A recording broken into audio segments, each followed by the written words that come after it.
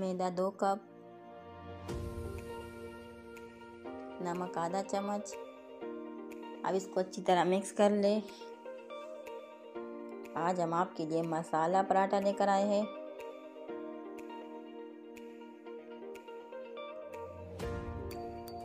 और आटे को नरम होने तक गूंद दे। फिर इस पर थोड़ा सा ऑयल लगा दें।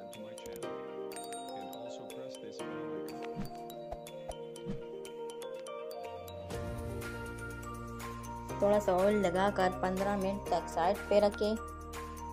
एक चम्मच बारीक पिसा हुआ लाल मिर्च, काला मिर्च पिसा हुआ, गरम मसाला मिर्च पिसा हुआ,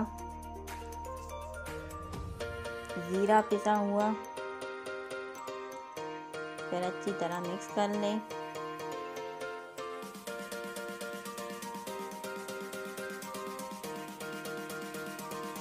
फिर आटे से गोल पेड़े बनाएँगे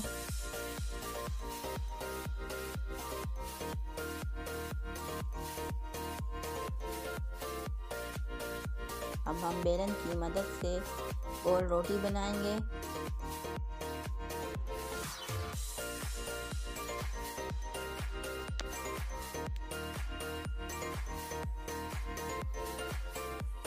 अब इसमें बनाया हुआ मसाला डाल दें।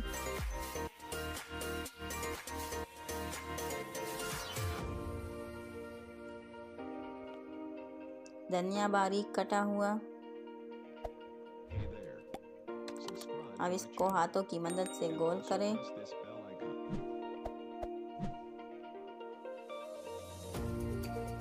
कमेंट्स करके ज़रूर बताइए हमको हमारा मसाला पराठा कैसा लगा। अब 20 मिनट के लिए साइड पे रख दें।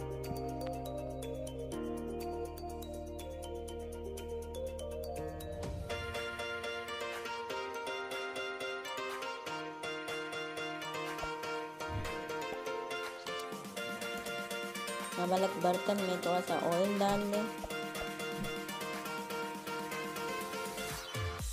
इसको रोटी डालकर अच्छी तरह फ्राई करें।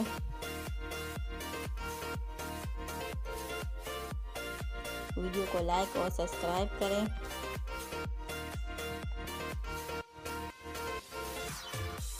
हमारा मसाला पराठा तैयार है। रेस्टोरेंट स्टाइल में।